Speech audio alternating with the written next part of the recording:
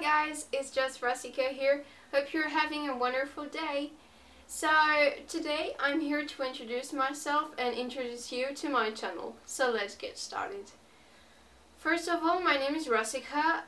Uh, that's obvious. And I'm 15 years old. I currently live in South France since my mom is French and my dad is Indonesian and I'm speaking English. Yay! Super logical.